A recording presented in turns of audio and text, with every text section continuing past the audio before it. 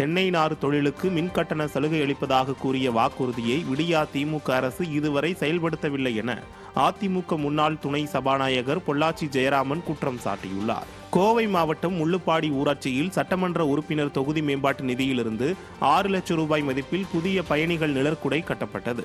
இதை பொள்ளாச்சி சட்டமன்ற உறுப்பினரும் அதிமுக முன்னாள் துணை சபாநாயகருமான பொள்ளாச்சி ஜெயராமன் பொதுமக்கள் பயன்பாட்டிற்காக திறந்து வைத்தார். இதையடுத்து செய்தியாளர்களை சந்தித்த முன்னாள் துணை சபாநாயகர் பொள்ளாச்சி ஜெயராமன்.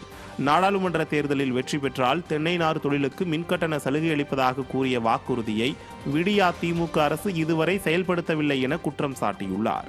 இந்த நிகழ்ச்சியில் கிணத்துக்கடவு ஒன்றிய குழு தலைவர் நாகராணி கிணத்துக்கடவு மேற்கு ஒன்றிய செயலாளர் திருஞான சம்பந்தம் ஊராட்சி மன்ற தலைவர் உள்ளிட்ட கழக நிர்வாகிகள் பலர் கலந்து கொண்டனர்.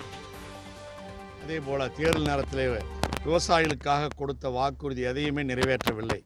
நாடாளுமன்ற தேர்தல் வந்தபோது தென்னைநார் தொழிலைச் சேர்ந்த அனைத்து தொழிலதிபர்களையும் திருப்பூரில் அழைத்து எங்களுக்கு மீண்டும் ஓட்டளித்து வெற்றி பெறச் செய்தால் தென்னைநார் தொழிலுக்கு மின்சார கட்டணத்தில் சலுகை அளிப்பதாக சொன்னார்.